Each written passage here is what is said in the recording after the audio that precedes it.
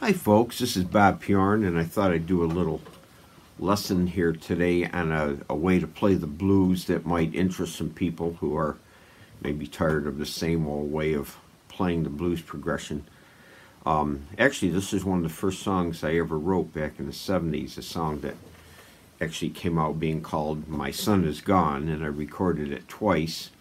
Um, today I'll, I'll reference um, uh, recording I did with uh, Kevin Dorsey on a recording with, uh, we shared a CD we did together, and I have the wonderful Cookie Coogan singing this. Well, first let me show you these chords. Um, this is probably for people of um, intermediate or a little more advanced ability, but maybe anyone might find some interest in it. So basically what I did is I did two unique things. I have a blues in a minor key and it's in 3-4 time. The chords are very simple. There's only four chords to learn. A minor seventh with the root on the sixth string. It'll, there'll be an A minor seventh and a D minor seventh. And then the so-called Jimi Hendrix chord. As a matter of fact, I like to say a word about that, the Jimi Hendrix chord. Um, but first, let me show you the chords, and then we'll talk about some of the historical significance of some of these things. Anyways, uh, what we're going to do is go from A minor 7th bar chord at the 5th fret to an E7 sharp 9. Now, for people who aren't too, uh, don't have a lot of ability at changing one chord to another, let me uh, give you a little suggestion. When we first learn chords, um, we have to assemble them. Let's say if you go back to how you first learned a D chord or a C chord, you had to assemble the notes one by one. As you got better, you were just able to put your hands right on them. So when you're learning a new chord, if you're having trouble, here's a handy tip I pass on to my students.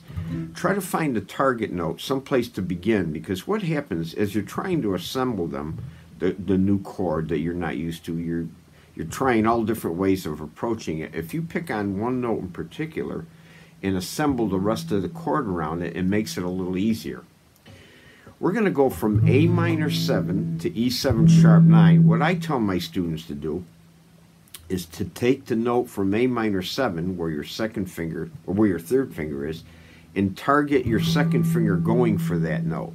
Then it's easier to assemble. So we're going to go from A minor 7 to E7 sharp 9 by um, changing from this chord right to this chord by targeting this note with the second finger. This note first and then assemble the chord. You might find it easier. So here's what the chords are in this. We're going to go A minor 7 to E7 sharp 9 four times.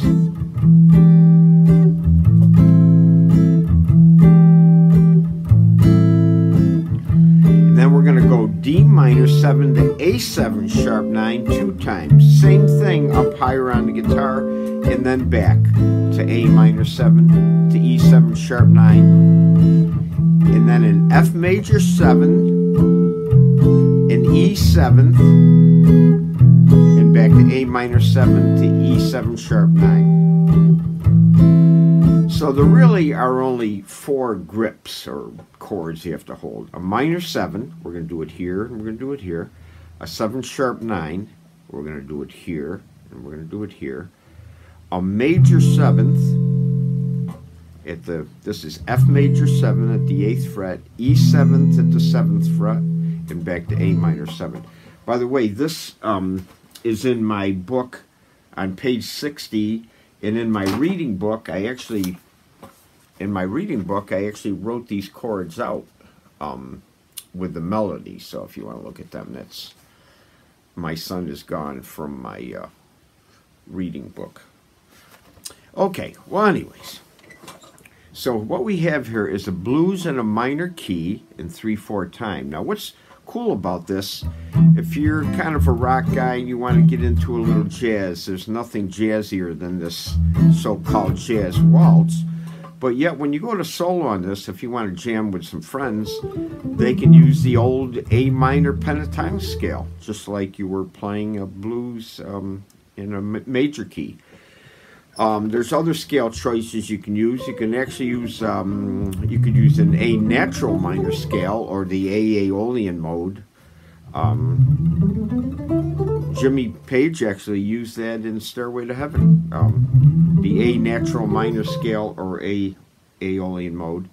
But simply, you can just play an A blues scale to jam on this.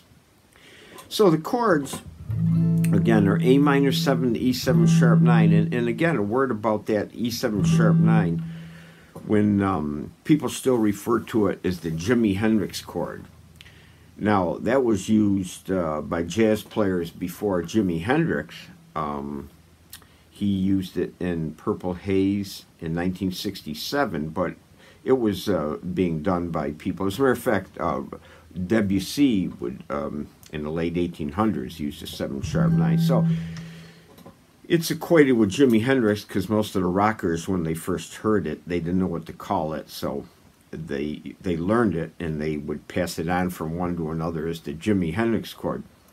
An interesting thing I'll say, in 1967, I was teaching, and um, when when that came out, uh, guitar players didn't have the vocabulary. And I'll tell you what, what really influenced uh, uh, guitar players' learning were the guitar magazine, most notably the very first one, which was Guitar Player magazine. Now, I have, I've, I've wish I had the very first one, but here's the second one from 1967.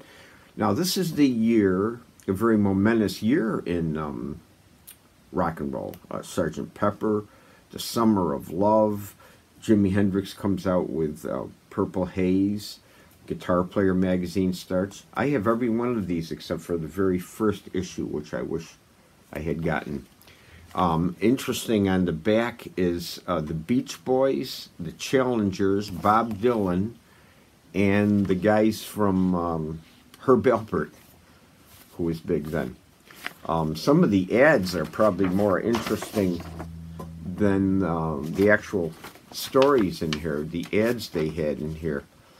Uh, Hohner PA system, uh, but a lot of cool things. The uh, one the, the music article, main one was about the Byrds. Anyways, that's Guitar Player magazine, which came out the same year as Purple Haze, which is where guitar players learn the seven sharp nine.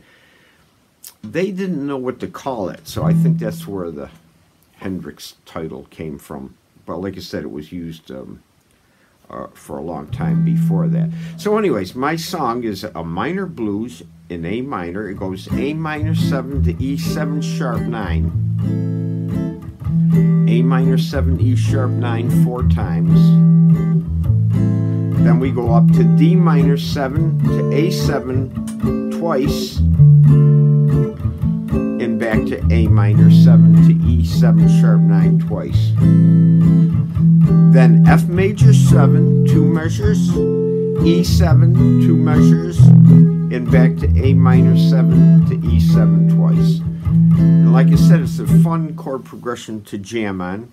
As a matter of fact, I'm going to put it on here. Um, you can find my recordings I, I recorded this twice, once with um, Cookie Coogan singing and doing some wonderful scatting on it, and later on my blues album with Anna Dessa singing a great version of it.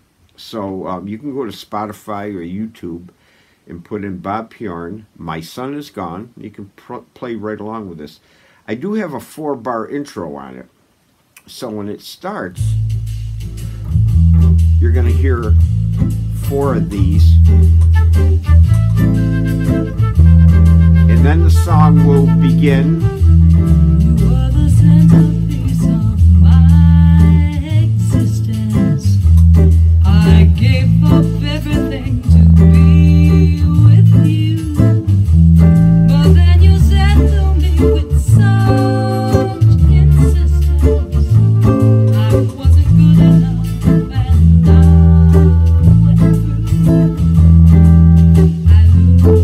Major 7 E7, and back to A minor 7 to E7 sharp 9. And then it just begins again.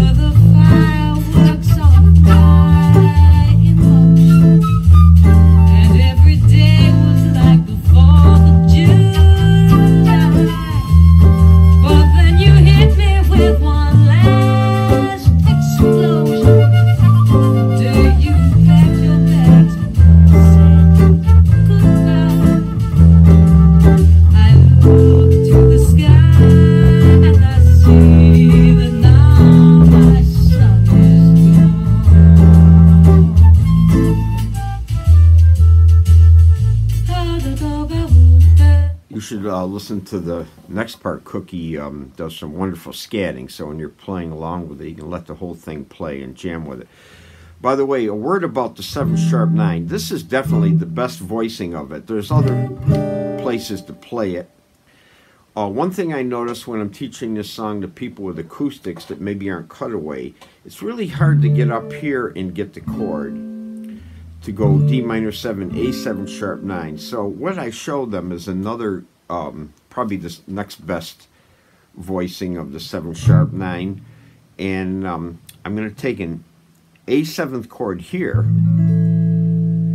And we have the sharp 9 right here. But usually what they do when they play the 7 sharp 9 like this, they also incorporate the 7th. Just a word about this. This is an A7 bar chord. If you want to get a little funkier R&B sound, you could add another 7th here on the second string. So when you get to play this A7 sharp 9, you might want to incorporate that 7th there what's good about doing the chord down here, then you wouldn't have to move up so high. So for example, you do your A minor 7 to E7 four times. D minor 7 here, root on the fifth string, to A7 sharp 9 here. And then back to A minor 7 to E7. So that's another way to play a 7 sharp 9 off of your bar chord, A7 sharp 9. So that's probably your next best voicing of it. So like I said, it's a great little progression um, to jam on if you have friends that maybe just know the pentatonic scale and they're not really into jazz or anything. If you play this chord progression, you could solo with the minor pentatonic scale. Um, anyone who um, has any questions about that, give me, you know, you can contact me through uh, Facebook if you have any questions about that. Um, it depends on your level. Um, this is probably not for beginners, but maybe people a little more advanced. So, okay, I'll try to put some other lessons out there. So check that out, Bob Piorun. Um, My Son is Gone. You can hear it on YouTube or Spotify or iTunes if you want to put it on your um, phone or something. Thank you very much.